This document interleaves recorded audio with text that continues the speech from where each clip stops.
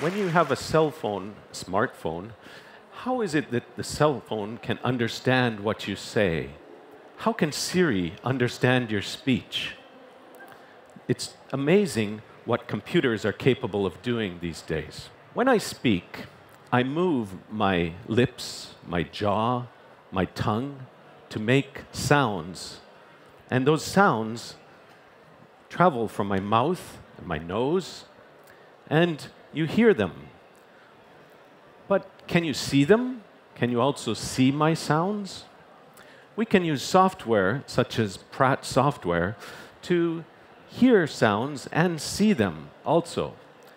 Things like waveforms and spectrograms can be seen. So that's what we can use, freely available software. Uh, one common problem that Japanese speakers have when they try to understand English speech is the difference between L and R. So often words like light and right are confused, or climb and crime, or road and the load, okay? Or heel and here, and so on. But if we use computers, we can actually see the difference between those sounds. Here's an example of a difference between L and R. So on the left, you see the word flute. On the right, you see the word fruit. Flute with an L, fruit with an R.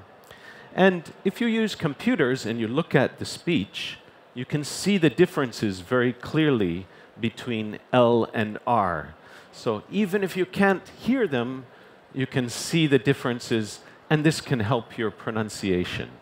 One thing that's difficult for uh, native speakers of English when they study Japanese is Japanese vowel length.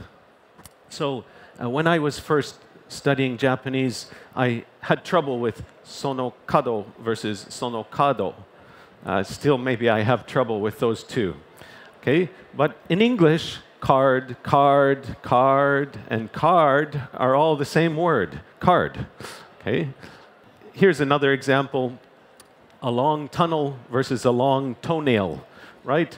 The vowel sound in tunnel is more like a than it is o. So when a Japanese person says tonneru, I always think of toenail, not tunnel. So that's a long tunnel and that's a long toenail.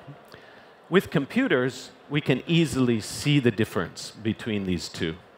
Okay, I hope you've seen that, that using computers can be a very powerful way of studying pronunciation. Thank you.